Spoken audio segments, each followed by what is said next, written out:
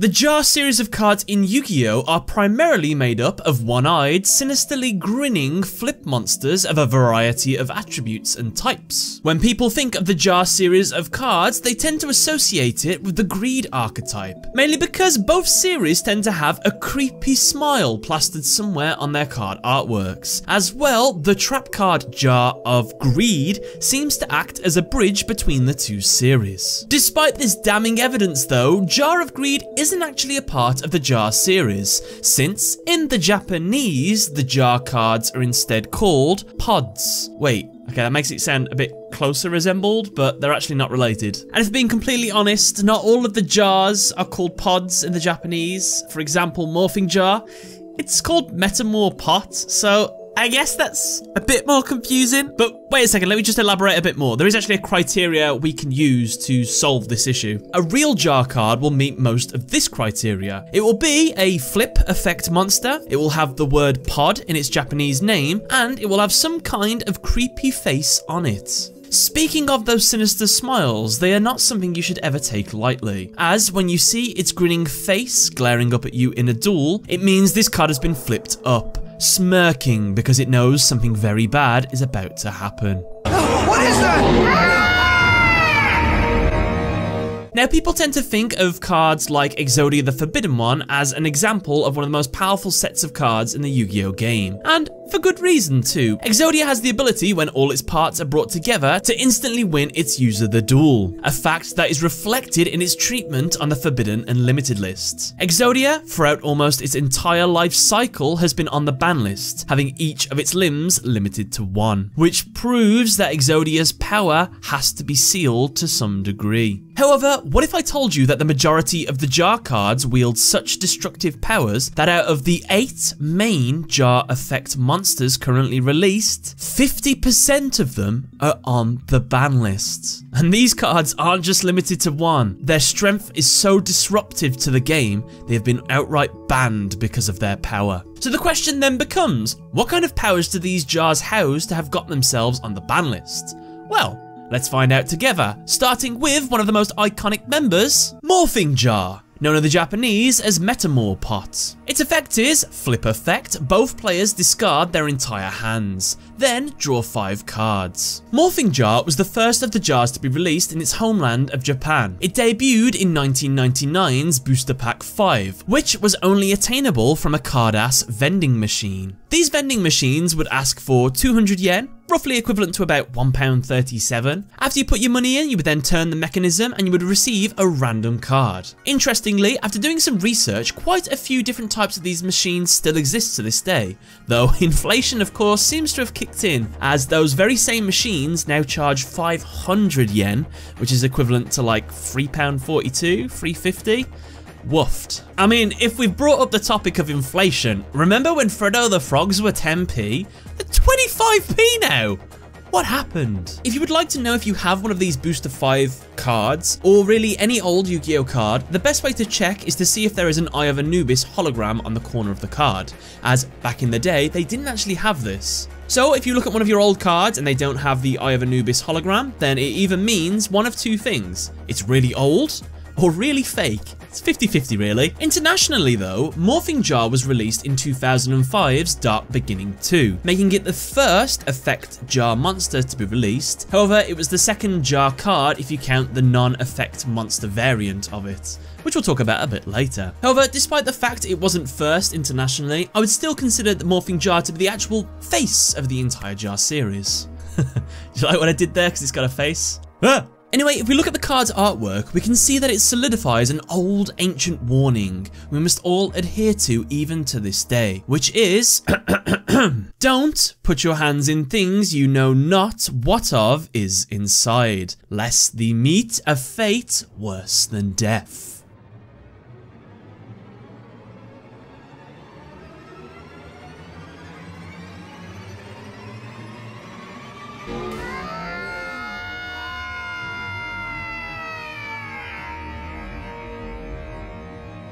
Morphing Jar does resemble a creature from some fantasy games, which many people know as mimics. Mimics disguise themselves as objects of lust, usually as a treasure chest to lure greedy adventurers in. The idea behind them is that when the adventurer reaches inside to claim their prize, Nom, nom, nom, we can see this being reflected by this monster as well as the other flip monsters, as they hide themselves as seemingly just ordinary defensive monsters. However, when an enemy creature attacks them, they spring to life, with a very nasty effect to surprise them. In fact, I think it's about time we talk about this monster's effect. Due to its effect, Morphing Jar currently sits on the limited section of the ban list. However, despite the fact it is limited to one now, Morphing Jar has spent some considerable time being banned. But why was it banned? Now, this isn't my area of expertise, but it's probably a fear of a zero turn kill deck. For example, something like Empty Jar's deck out strategy, or Jackpot 7 being combined with this monster for an instant win. Regardless of all that though, just having a card that lets you completely restock your hand back to 5 just off of one card could be seen as a little bit too overpowered to run too many of. Imagine having three of this card in your deck. Cyber Jar, known in the Japanese as Cyber Pod. Its effect is Flip Effect. Destroy all monsters on the field. Then both players reveal the top 5 cards from their decks, then special summon all revealed level 4 or lower monsters in face-up attack position or face-down defense position. Also add any remaining cards to their hand. If either player has less than 5 cards in their deck, reveal as many as possible. Heavily resembling Star Wars' Death Star, and in fact even firing a laser in a similar fashion to it in the anime, Cyberjar was first released in 2004's Dark Beginning 1 in the TCG, and the year 2000's Pharaoh's Servant set in the OCG. Now, before we can talk about this card, we first need to address the elephants in the room. One, this card is in no way affiliated with the Cyber Dragon archetype. And two, despite this monster having the word cyber in its name, and the monster's whole aesthetic is geared towards machinery, it is in fact not a machine type monster, it's a rock type.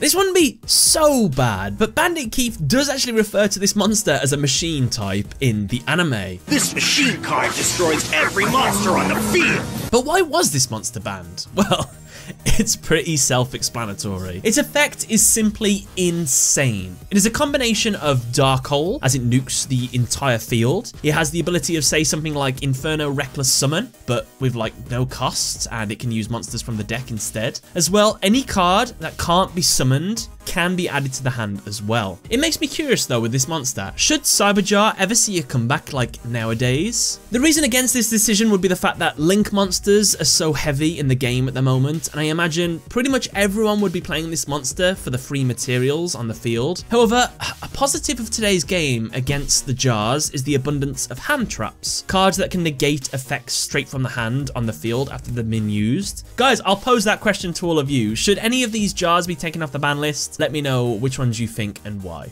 Fiber Jar, known in the Japanese as Fiber Pod. Its effect is Flip Effect. Each player shuffles all cards from their hand, field, and graveyard into the deck. Then draw 5 cards. Fiber Jar was released in 2001 in the OCG's Mythological Age set, while it was released in the TCG in Legacy of Darkness in 2004. I'm gonna be honest, I feel like I didn't make a big enough deal about this monster's effect, but let's just repeat it one more time. Each player shuffles all cards from their hand, field, and graveyard back into their deck and then draws five cards. Oh my god. Needless to say, Fiber Jar is broken since it can keep putting everything back into the deck, even itself. Meaning a duel could last a literal eternity. So, in my opinion, this one can stay on the ban list till the end of time for all I care. Now, if we look at the monster's artwork, if Morphing Jar is a mimic, Cyberjar is the Death Star, then what is Fiberjar? Well, it actually resembles the ancient ruins of Laputa from Studio Ghibli's Castle in the Sky film. They even both share a giant cannon at their bases. In fact, it was actually used in the anime once by Joey Wheeler in episode 153. However, when he used it against Mai Valentine, before Joey could trigger its effect, Mai used her Harpy's Feather Storm to negate that effect and end the battle phase. Unlucky, Joey. Morphing Jar number 2, known in the Japanese as Chaos Pod. Its effect is Flip Effect. Shuffle all monsters on the field into the deck. Then each player excavates cards from the top of their deck until they excavate the same number of monsters they shuffled into their main deck. Special Summon all excavated level 4 or lower monsters in face down defense position. Also send the remaining cards to the graveyard. Released in the year 2000 in Curse of Anubis in the OCG, then again in Dark Beginning 1 in the TCG, this card is the last of the jar cards to be a member of the Forbidden and Limited list, and is also the one with the strangest OCG to TCG name change. While completely separate in effect to Morphing Jar, weirdly they called it Morphing Jar number 2. This must have had a much better name in the Japanese as well, of Chaos Pod. Maybe Chaos Jar would have been a much better name, in my opinion? Or would that have clashed with like other Chaos monsters? Regardless, the reason why this card might have been banned was to stop the abuse of deck out decks, which is the reason why Morphing Jar was limited to one as well. I guess this could be a little nod from the developers being like, oh no, we've got another Morphing Jar here a morphing jar number two, if you will. I wonder if we could ever see a comeback of this card, or all of them, if they added the hard once per turn to each of their effects, because that is the problem with these cards. The fact that you have cards like Book of Taiyou, Book of Moon, to flip up and flip down monsters, can keep reusing some flip effect monsters' abilities, so maybe if it was a, just a hard once per turn, we could see them come back. I don't know. Maybe. Oh, and last thing about this monster, you can see it in the anime exclusive card artwork of Release Change. Right then, let's get to the jars that aren't on the Forbidden Unlimited list, shall we? First we have Dice Jar, known in the Japanese as Dice Pot. Its effect is Flip Effect. Both players roll a six-sided die. The player with the lowest result takes damage equal to their opponent's roll times 500. However, if the winner rolled a 6, the loser takes 6,000 damage.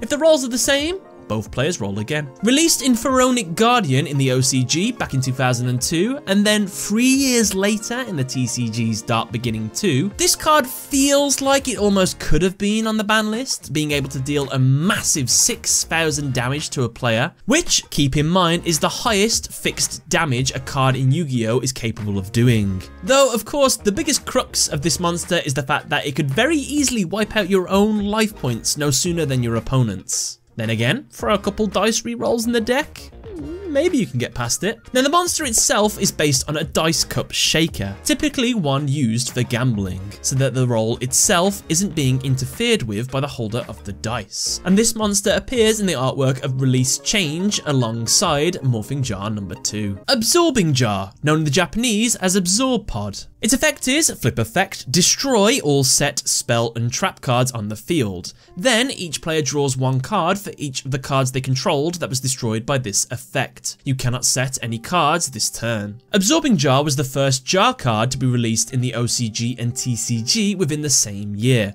only separated by two months. It came out in Galactic Overlord as a rare in both sets. Absorbing Jar seems to be a watered down counterpart to Cyber Jar. Both look mechanical in appearance, Cyber Jar destroys all monsters on the field, while Absorbing Jar destroys all set spell and trap cards on the field. And while Cyber Jar lets you pick up 5 cards and summon the monsters, Absorbing Jar lets you draw cards equivalent to the cards sent, but you can't set any of those cards the same turn. So it seems to have a similar but opposite kind of effect to it. In fact, if we look at the base of the monster, it even resembles that of Cyber Jar 2. Cobra Jar, known in the Japanese as Snake Pot. Its effect is Flip Effect, Special Summon 1 Poisonous Snake Token. Reptile type, Earth, 3 stars, Attack 1200, Defense 1200. When the Poisonous Snake Token is destroyed as a result of battle, inflict 500 points of damage to your opponent's life points. Released in 2002 in the OCG's The New Ruler and later in the TCG's 2005 set Dark Revelation Volume 1, Cobra Jar actually has only been released in two sets in the TCG in its entirety. So you'll pretty much only ever see the card's unique numbers starting with DR1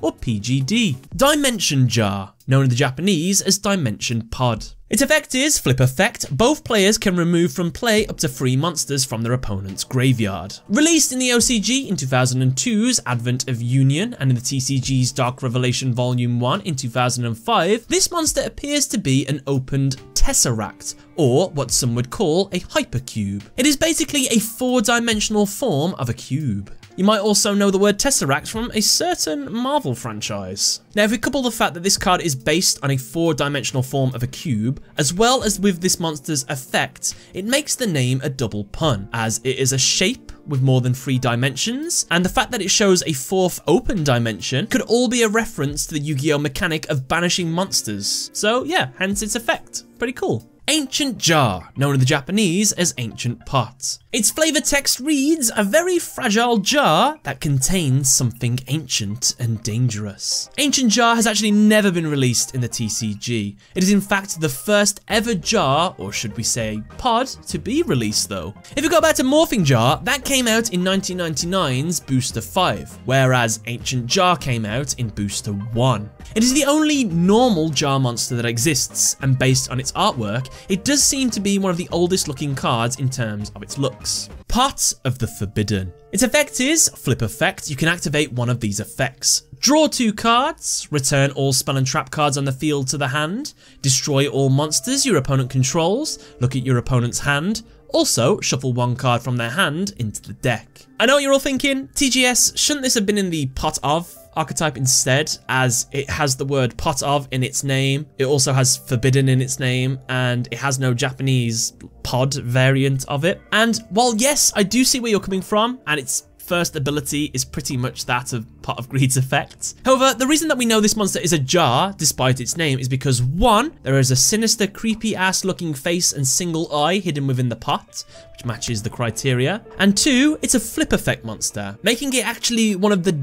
denchest jars of them all, as it has an impressive 2000 attack and 3000 defense. In fact, it makes it the highest defense value of any flip effect monster so far in the Yu-Gi-Oh game. As a side note as well, this monster has inherited the powers of four of the deadliest Yu-Gi-Oh cards in the game, which all have been forbidden due to their power. We have its first effect, which is Pot of Greed. We have its second effect, which is Giant Trunade. We have its third effect, which is Raigeki, which I guess is unbanned now, but it has been banned. And we have its fourth effect, which is the Forceful Sentry. And finally, let's finish up with the non-official jar cards that are basically only in this video because they contain the word jar in their name. Now, they actually aren't a part of the jar series, but let's just mention them anyway. We have Jar of Greed, Jar Turtle, Jar of Avarice, Jar Robber, Dragon Capture Jar, and Aroma Jar. And with that, guys, that's another episode of Yu-Gi-Oh! Trivia done. Let me know what you thought of the jar archetype, which is your favorite jar. I'd love to know. But before we end, I want to give a huge thank you and shout out to all of my supporters. Thank you first and foremost to my top